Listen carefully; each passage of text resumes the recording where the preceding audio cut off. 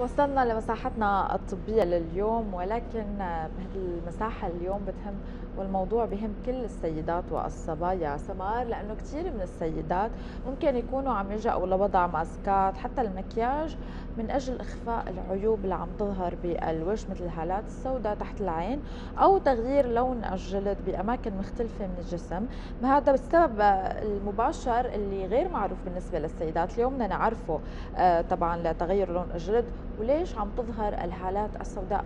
تحت العين آه، طبعا ونصائح كثير رح يعرفنا عليها. الدكتور هايكا سيروبيان اختصاصي جلدية. يسعد صباحك. يسعد صباحك واهلا وسهلا فيك. يا ميت هلا يسعد صباحك دكتور واهلا وسهلا فيك. الله يسلمك. آه، بالبداية مثل ما حكينا بدنا نحكي اليوم عن الهالات السوداء تحت العين. خلينا نعرف شو السبب ظهور الهالات السوداء تحت العين؟ وبشكل كمان بس بتفرق من شخص لآخر. أحيانا بيكون كثير غامق. أحيانا بتكون المنطقة مثلا سوداء بس يعني أخف من غيرها. خلينا نحكي عن السبب. هلا الهالات السوداء اليوم صارت هي حالة عم نشوفها كل يوم حتى بالحياة العادية. طلعوا حواليكم تلاقوا نسبة كتير كبيرة وخاصة عند الصبايا. حاطين كونسيلر بس مشان يغطوا موضوع المظهر هذا السواد اللي بيوحي بالتعب. يعني اليوم أي حدا مهما كان بشرته نقية مهما كان صافي مهما كان اللوك تبعه حلو مثل ما بيقولوا بشوية هالات سوداء بصير بيوحي بالمرض. العين دائما بتصير توحي لنا بيقولوا الإنسان العين معرفة الكلام طبعا. أو حتى المظهر تبع الإنسان بيرتبط كثير بعينه.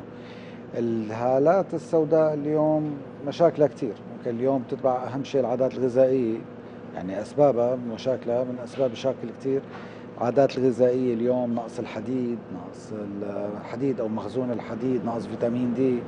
مشاكل وعائية موجودة عند الشخص خلل تغذوي ما ممكن موجود عادات سهر كمبيوتر شاشات. نقعد قدامها لفترات طويلة. الحقيقة هي الوراثة بس اليوم فينه حدا يقول لي على حساب أي مورثة موجودة هاي الهالة؟ أنا موجودة يعني. ما هي كلام بنقول عائليا موجودة هاي القصة أكثر من غيرها لأسباب إنه قد يكون عائليا بنفس العائله عندهم مشكل بالتغذية ممكن يكون عائليا عندهم مشكل وعائي ممكن يكون عائليا عندهم مشكل مرضي ما بينعكس على العين. لكن ما في مورثة مباشرة مسؤولة عن السواد تحت العينين. يعني ما في شيء أنا بورثها اليوم على طفل. هي بتظهر مع الأيام نتيجة العادات ممكن تكون أحيانا عادات عائلية تغذوية ممكن تكون موجودة بالعائلة أو استعداد لظهور هاي الإصابة موجودة عندهم أسرع من غيره استعداد لكن ما وراثة مباشرة. نعم. دكتور مو بس الهالات السوداء تحت العين عم تظهر هاي المشاكل كمان تغير أو بقع داكنة بأنحاء مختلفة من الجسم. كمان خلينا نعرف شو سببها ليش عم تظهر؟ بقع داكنة هذا بحر. اليوم بقع داكنة نحن بنفسرها بشكلات كثير لاعطيك مثال. وحدة بشرتها بيضاء بصير معها شيء بسموه عنا بال بجلدية فرفورية هي نوع حدث وعائي. ممكن يكون هذا الحكي عند البشرة بيضاء اليوم حمراء عند البشرة سمراء اليوم تبين سوداء فمفكرة تصبغ هي مشكلة وعي رجعنا لنفس الفكرة. في تصبغات بالجسم اليوم تتبع مثلا التصبغات اللي بتظهر تحت الابطين مثلا بمنطقة الابطين منطقة العاني منطقة المفاصل مثلا بالركب بالكوع. هذا الشيء كل واحد منهم بيرجع لأسباب مختلفة. فهي بحر كثير كبير. كل حالة عند مريض بتفرض حالة. تختلف, تختلف. آه، في أسباب اليوم مناعية بتسببها في أسباب كثير ممكن تكون نحن عندنا درجة عادي كل شغلة بتطلع كمان على الجسم بده يروح فحص الكبد تمام. فحص مدري شو. الحقيقة هي موجودة بس إنه هي احتمالاتها كثير ضعيفة. في أسباب كثير شائعة وفي أسباب مناعية ممكن تكون موجودة. وفي أسباب ممكن مثل اللي بنعرفها وبنتداولها بس هي ما أسباب شائعة ابدا. آه، كل حالة بتفرض وضعها وكل حالة لها علاج مختلف على فكرة. ما في شيء اسمه كريم مضاد للتصبغ بيجي أنا بحطه اليوم بينفع منطقة الابطين هو نفسه اللي بينفع على الجسم هو نفسه اللي بينفع على على الكوع والركب. مثلا عادات مثلا عندنا مثلا النساء اللي بتصلي مثلا دائما بنلاحظ عندهم منطقة الركبتين عندهم فيها نسبة سويدات. ليه؟ يعني على منطقة السجود العادات اللي موجودة في بعض البيوت عندنا بالقعده على الأرض مثلا وبيحطوا ركبهم على الأرض وبيقعدوا عليها لفترة منيحة. هذا كمان آه، ممكن تسبب اسوداد نتيجة الاحتكاك نتيجة التقران. هون الاسوداد سببه فرط تقرن يعني الجلد نفسه بصير في تقران وبيعطينا هذا المظهر الأسود. هلا ما في ما بيتعامل معاملة التصبغات. هذا بيتعالج معالجة الجلد المصاب بفرط تقرن أو خشونة. هي خلينا نحكيها باللغة العامية هي اللي تعالج وبتلاقي اللون شوي شوي بيتراجع. المشاكل اللي علاقة بالتصبغ بشكل مباشر ترتبط بحسب مثلا نفترض عندك القطين ممكن يكون هذا سببها آه، مواد مزيلة للتعرق مثلا العطور ممكن تطبق ببعض المناطق المحيطة هذا الشيء بسبب لنا سواء منطقة العانق بعض المشاكل الهرمونية بتلعب بعض المشاكل الالتهابية بتلعب دور. الحقيقة أنه هو بحر. يعني كل حالة منهم ممكن تكون إلى نمط علاجي وإلى نمط, نمط آه، علاجي تدبير مختلف, هلا مثلا تحت الإبط إذا صار في المنطقة غامقة ممكن بالليزر ممكن يتعالج وتصير بتوحد لون الجلد. آه، وخلينا كمان دكتور نحكي عن الماسكات الطبيعية. مثلا بيقولوا الشاي إذا حطيناه بيروح الهالات السوداء. مثلا الركب إذا صاروا غامقين كثير إنه جيبي ليمونة مثلا وفركي ركبتك مثلا بيروح هذا اللون الغامق. خلينا نحكي عن هي الثلاث نقاط اللي حكيتهم هلأ. آه الليزر اللي حكيتي عنه إجراء صحيح. تمام. تمام. وعلى فكرة في كثير سيدات بيعملوا ليزر شعر ما بيعرفوا إنه ليزر الشعر نفسه ببعض المعايرة للجهاز ممكن يروح التصبغ وهي المعايرة بدها تترافق مع مستحضرات ملطفة خارجية وبدها تكون زمن الجلسات متقارب. يعني بدها ترجع للمركز اللي هي عم تعمل فيه الجلسات إذا كانت عم تعمل جلسات ليزر وبتقدر تنبههم لفكرة إنه أنت حابة تخلصي مثلا موضوع السواد بمنطقة العانة أو الابطين يعني مناطق السنايا بسموها عنا. تمام؟ وبياخذوا التدبير المناسب حسب الخبير اللي عم يشرف عليهم الطبيب اللي عم يشرف عليهم هو اللي بيعطيهم التدبير المناسب. بالنسبة للإجراءات الطبيعية اليوم نقول كمادات الشاي هاي بتجي على وزمات مثلا تعب سهر ممكن تنفع معنا كمادات الشاي البارد. بتصير يعني هي بتهدي. اليوم نفرك المناطق الخشنة بالليمون أكيد بتعطينا إذا فركناها شيء من النعومة فبتخفف. لكن هي إجراءات لطيفة بحالات بدائية. ما بتشتغل إذا كان عندنا نحن تصبغ حقيقي. التصبغ الحقيقي بدها تلجأ لتدبير قد يكون طبي تماما وبدها تراجع فيه الطبيب. السواد تحت العينين مثلا له إجراءات كثير ترتبط بالحقن بالمنطقة أكثر وهو الأكثر نفع يعني اللي بيعطينا نفع أكثر والاكثر نجاعة بالموضوع هو الحقن. طبعا في ابر كثير بتشتغل بهذا الموضوع بتعتمد مستحضراتها على يا أما النياسين أو الفيتامينات مثل النياسين مثل فيتامين إي. هدول كثير مهمين بالنسبة لمنطقة السواد تحت العينين. آه، ممكن نعتمد على ال growth factors أحيانا ممكن تعتمد أحيانا على ال hyaluronic acid. non cross النظام اللي بيعتمد على الترميمة أكثر هذا موضوع ممكن يشتغل وبيعتمد كثير على قابضات الأوعية. هي نقطة كثير مهمة لأنه دائما السواد تحت العينين هو مشكل وعائي أكثر نحن بنفكر السواد إنه لون من برا. الحقيقة إنه هو ثلاث layer ات السطحي هو اللون اللي هو النتاج النهائي عن اللي صار تحته واللي تحته وزمة دموية مثل الكدمة. هذا بتتشكل فيها بسموها الوشم الهيمي أو الوشم الدموي. واللي تحته هو الأصل هو تمزق بالأوعية الشعرية الموجودة في العمق يعني مثل إذا عندنا نحن جدار وهالجدار في بقلبه ماسوره مي وطقت. ما بتنش بتطلع لبرا. نفس المبدأ هي الأوعية الشعرية بتنش وبتصير بتعطي منطقة فيها وزمة دموية أو وزمة من كريات الحمر بسموها الوشم الهيمي اللي هي بتولد لون لفوق. أي علاج للعين اليوم ما بيرتبط إنه أنا اليوم آه والله حط كريم أو حط مستحضر أو أو حط مثلا كمادات. الحقيقة في عندك إصابة تحت بدك تخلصي منها. هذا إذا ما خلصنا منه ما بناخذ نتيجة. يعني مشان هيك أغلبية مستحضرات حول العينين بتلاقيها اللي عم بيستعملوها بقول لك ما استفدنا منها كثير نتيجتها محدودة خفت شوي بس ما بتعطي نتيجة. الحقيقة إذا ما كان في إجراء اليوم آه، علاجي حقيقي للمنطقة وعلاجي على فكرة ما هو إجراء مرة أو مرتين هو وقت بياخذ وقت يصل لست شهور وأحيانا لثمان شهور لنقدر نخلص من المشكلة. دكتور طيب بما إنه هي المشكلة عند غالبية الصبايا وعم يلجأوا مثل ما قلنا حتى لو بأعمار صغيرة ممكن للفيلر للبلازما للميزو. خلينا نحكي شوي كيف فينا نعتني بالمنطقة تحت العين؟ يعني الهالات السوداء هي مشكلة شائعة جدا. هلا بس بدي تنويه صغير. أول شغله الفيلر بيشتغل بس بالحالة اللي بيكون فيها العين مجوره خلينا نحكي باللغة عاميه كثير اللي بتكون السواد ناتج إنه بالأساس ما عندي وسادة في بين الجلد وبين الحجاج فعمليا تمليها فبيخف اللون فقط. ما في filler بيروح لون السواد. تحت العينين.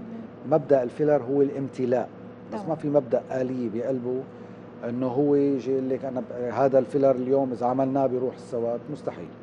ال meso آه، في تداخل شوي ما بين الأبر العلاجية وما بين ال meso. كل منطق حقن بالوجه صار العرف نسميه meso. حتى تداول الشركات تقول لك عندي إبرة meso. هو الصبايا ما كثير عندهم معلومات. تمام. أي إبرة اللي إحنا بنعطيها بشكل سطحي بالوجه بسموها ابر meso. هي تك تك تقنية خلينا نعتبرها إنه ال meso هي تقنية حقن بالوجه. تختلف المواد حسب الهدف. فمشوها تحت بند ميزو. الحقيقة إنه هي في إبر علاجية. ما فينا نعتبرها meso.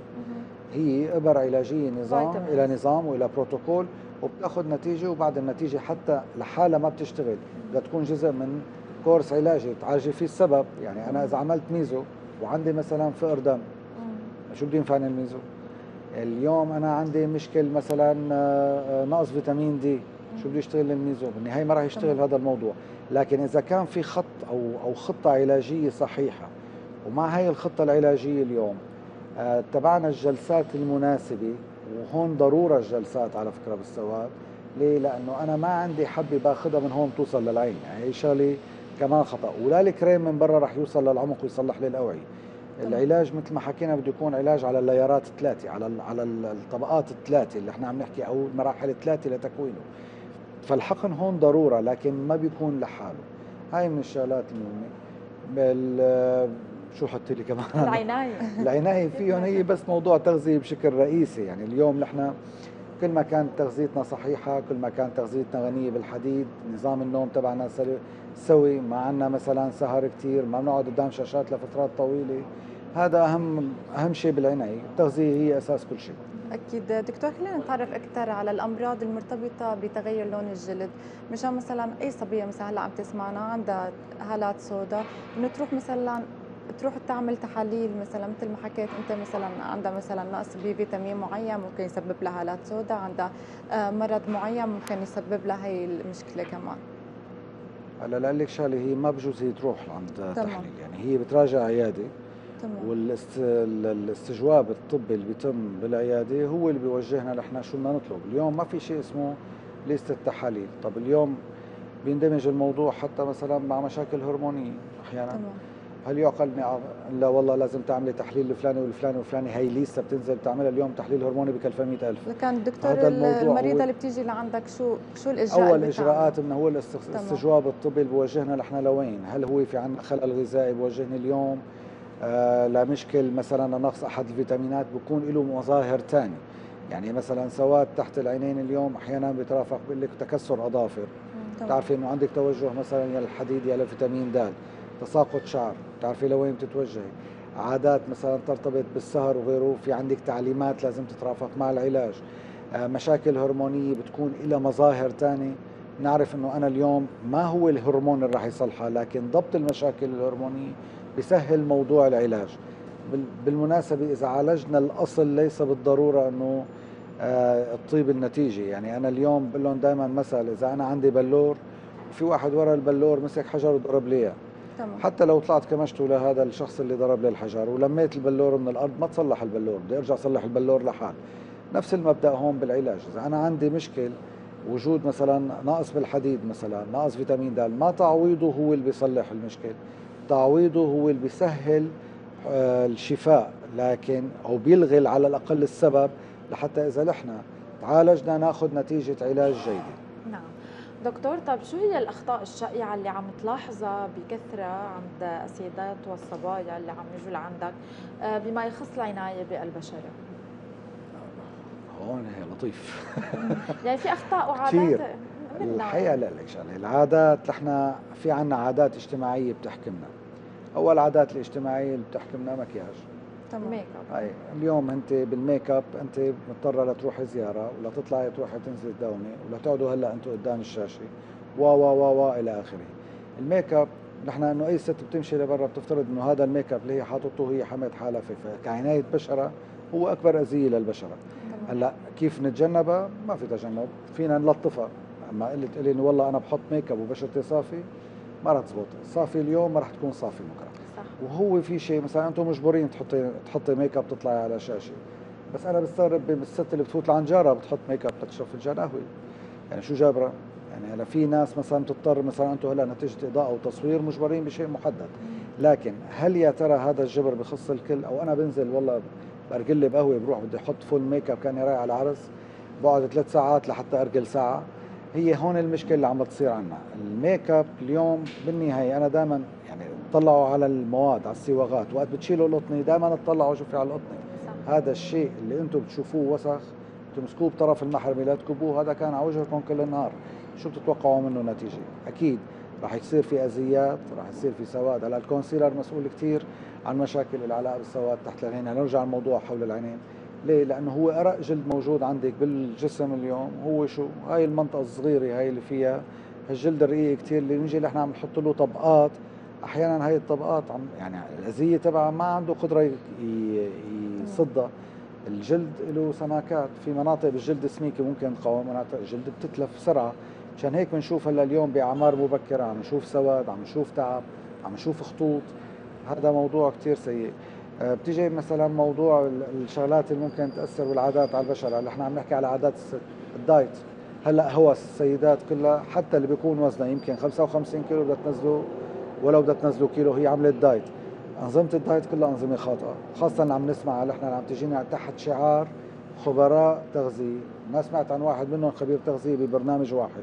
يعني برنامج مقدمه لمريض بشكل حقيقي فعلا تغذوي. طبعا في ناس رح تضايق مني من الحكي بس بالنهاية البرامج اللي بتعتمد على الجوع هذا ما اسمه دايت. البرنامج اللي أنا بجوع فيه مريض ما أنا بجوعه بالصومال بيطلع نحفان الزلمه يعني ما في مشكلة. ما شو نظام الدايتات؟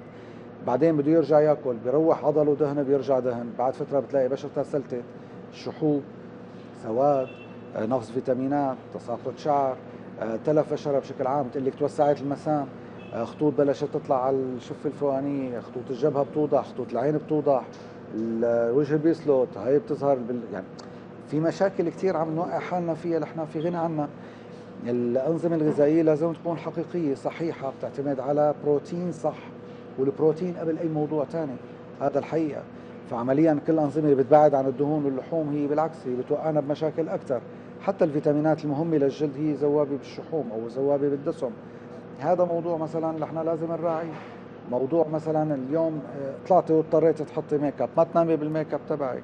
المستحضرات تستعمل مزيل ميك اب أو تعمل منظف بشره على الطالع والنازل. تبع رود تركيب مواد كيماوية صرفة. يعني شو جاينه طيب شو صابونه الغار اعتبريها مخشوشه ما فيها يعني بدل ما يكون فيها مثلا 20% غار غاشينها حاطين 10 طب فيها 10% غار منيح. أحسن من مفاعل ديمونة هذا بيحطوا لي إياه بقنينه وبحطوه على وجههم وأنا عم استعمل ماركة. وإذا ماركة وإذا ريحته حلوة وإذا دافع حقه أحيانا 50000 ما هو المشكلة؟ ما بهدول أنت عم تدفع حق البراند. ما تحطوا على بشراتكم شيء ما بيلزمكم. هذا هو أكثر شغلة رح توقعنا بمشاكل مستقبلية حتى لو محلية. أكيد. دكتور بما أنه حكينا عن علاج هالات السوداء بالحقن خلينا نحكي شو له آثار جانبية؟ الحقن؟ إيه الحقن. حقن آثاره الجانبية باليد الغير خبيرة. تمام. نحن عم نحكي حقن. نحن هلا دارجة عنا عادي من هب ودب تمام. أربع خمس إعلانات على الفيسبوك على خمس صفحات بنطلع خالصين. ولحقوا حالكم يا صبايا واللي بدهم يسحبوا حاكيني على الخاص مثل ما بيجروا على الفي مثل ما بيقولوا عنا بالعامية. هلا أنا ما عم بقصد فيها حدا بس هي فعلا هذا كلام يعني صار عم بيسخف عمل اليوم كثير صعب. الأمراض الجلدية شغلة كثير صعبة. بس تنويه للي عم بيسمعنا من السيدات. الأمراض الجلدية شغلة كثير صعبة. أنا بقول لهم مثلا اليوم بنروح عند دكتور عينيه يعطينا قطرة لعيوننا لا بنسأله شو عاطينا ولا بنناقشه لا الصيدلي بيسترجي يبدل الدواء ولا الجارة بتعطيني رأي ولا رفيقتنا ولا حدا بيسترجي يفتح تمه. تمام. مع العلم هاي القطرة رح تشفيني بخمس أيام أو أسبوع.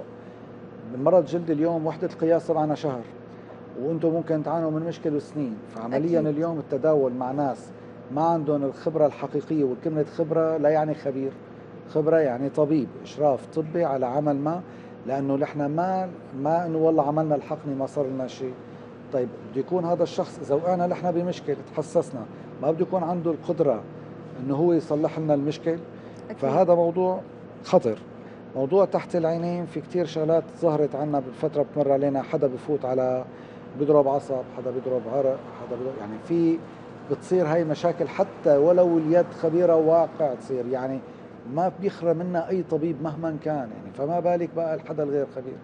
فالتعامل معها خطورتها بخطورة المكان حساسية المكان نبالة المكان خلينا نعتبرها منطقة العين. فما ما بنلعب فيها بشكل عشوائي. التداول فيها عن طريق مراكز طبية خلي يكون فيها طبيب مشرف ببرنامج علاجي واضح وليس برنامج إعلاني لمادي أو برنامج إعلاني لحالي أو خصم بموضوع. هو الحقيقة ما هدول العم هدول اللي عم يدير العمل التجميلي.